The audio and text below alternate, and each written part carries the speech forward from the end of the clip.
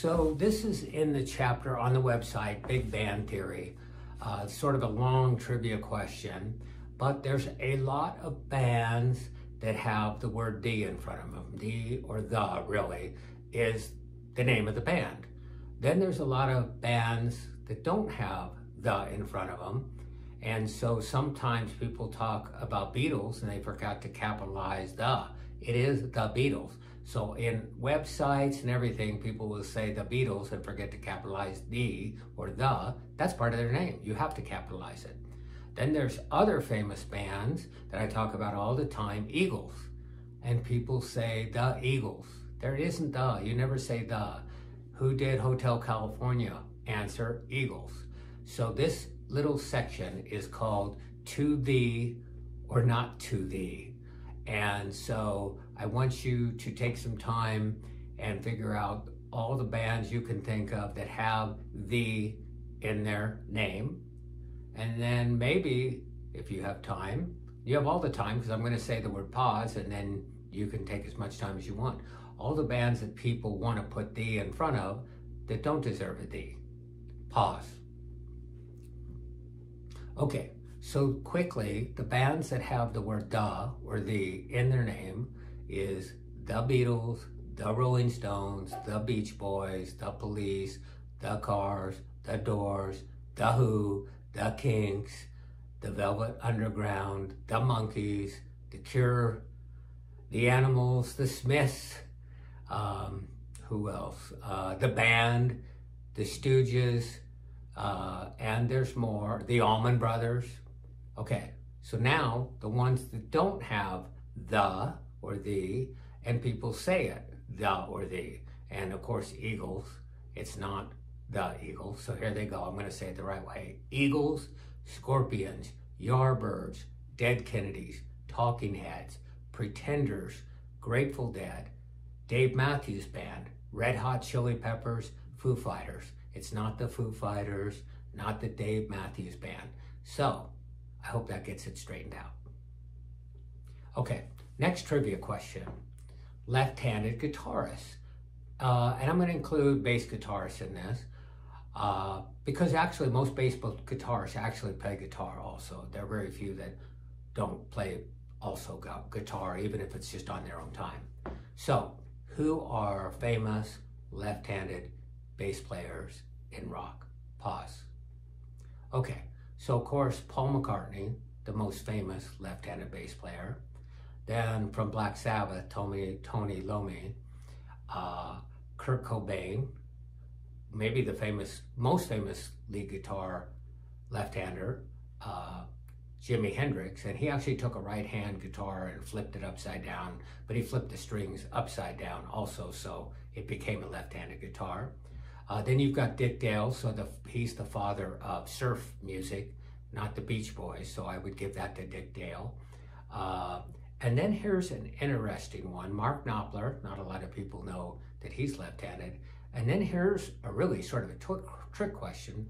Steve Morse from Dregs, Dixie Dregs, he tours with Purple, an amazing guitarist, so fast uh, and almost never does hammer-ons and hammer-offs. He's so good with just picking. But he's actually plays a right-handed guitar, but he is left-handed. Uh, when I met him one time and asked for his autograph, I noticed he's signing with his left hand. And sure enough, he's left-handed. He just, you know, it's hard to get a right-handed guitar sometimes. So, I mean, a left-handed guitar, so you learn to play right-handed. And in some uh, venues, I think, my own personal, your right-handed, your right hand is such a better um, dexterity and coordination, and that's what should be on the fretboard anyway. Why is it holding a pick? Okay, next question. Twins in rock and roll. So this is twin brothers. Now I'm not talking identical twins, although some of them are. Twin brothers that are in the same rock and roll band. There's not many, but I bet you that you don't know some of these bands and you've listened to them all your life and two of the brothers are twins or that they are brothers. I think you would know they're brothers, of course. Pause. Okay, the first one that blew my mind is ACDC.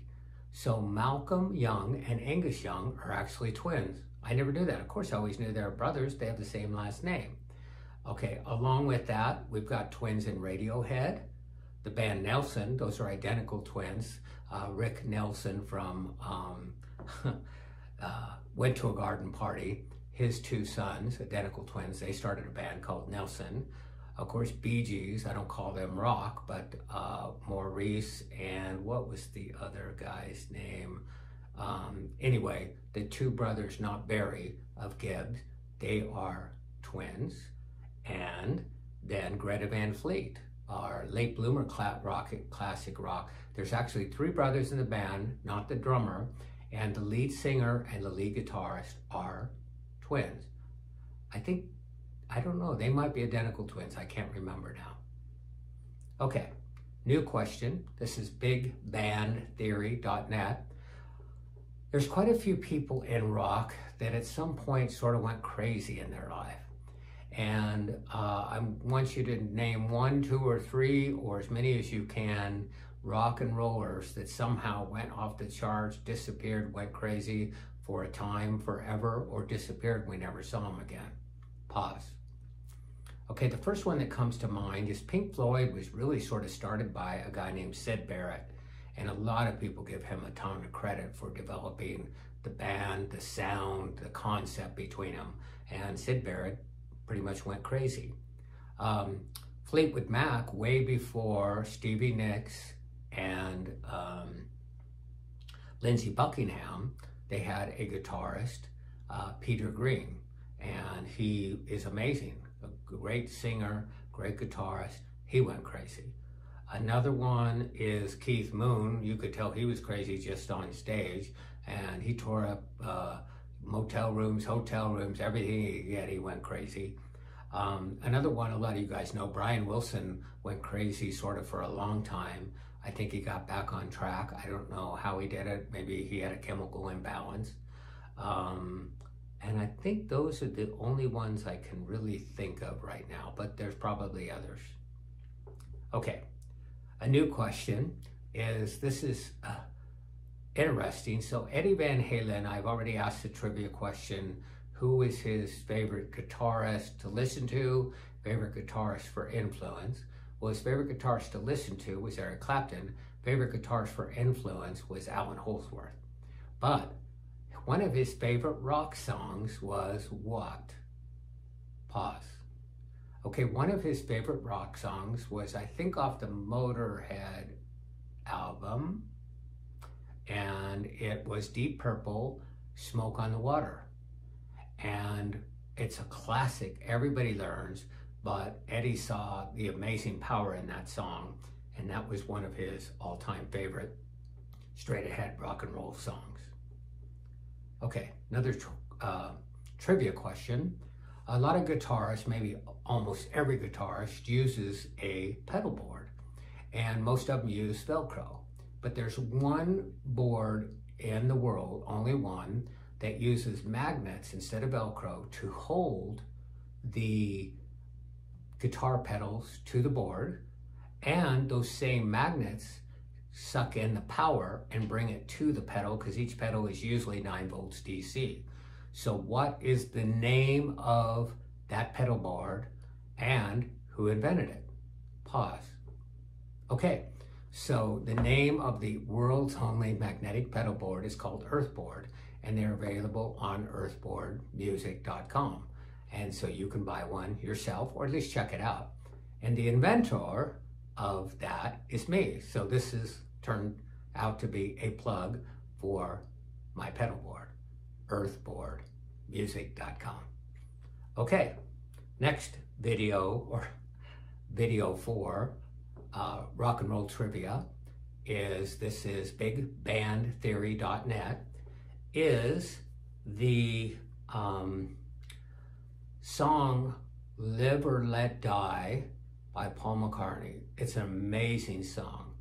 And so, how did he write that? What was the unusual circumstances to come with with that? Da da da, da da da, da da, da da da, da da da da da. Sounds simple now because we know the song, but how did he actually stumble across creating such a unique, catchy uh, riff. Pause.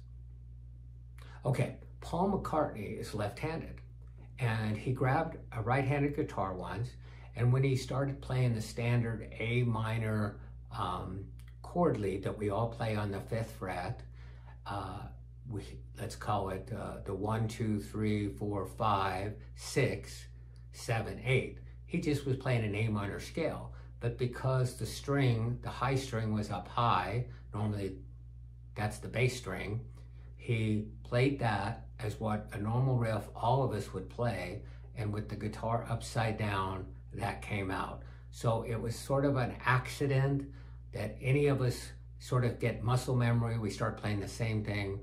Luckily, Paul McCartney grabbed a right-handed guitar that day, started goofing around and saw the beauty of playing an A minor riff upside down, which is no longer an A minor riff. Okay, trivia question. In the band Emerson, Lake and Palmer, Keith Emerson, if he isn't creative enough with all the synthesizer music that he wrote and was doing synthesizer stuff like Lucky Man on that Moog synthesizer. By the way, it's Moog, not Moog. Analog synthesizer. It was just unbelievable stuff. But you've got to check out the song Just Take a Pebble. Pebble. So Just Take a Pebble, Emerson Lake and Palmer live, go to YouTube. Here's what Keith Emerson did. I've never seen a piano player do this before or since. He used guitar pick on the strings. Well, if you know how a, an acoustic grand piano is built, it has dampers and hammers. So when you hit the three keys of a chord, let's say, the dampers come off and the hammers deploy, and that's what allows just those string strings to ring out, but nothing else.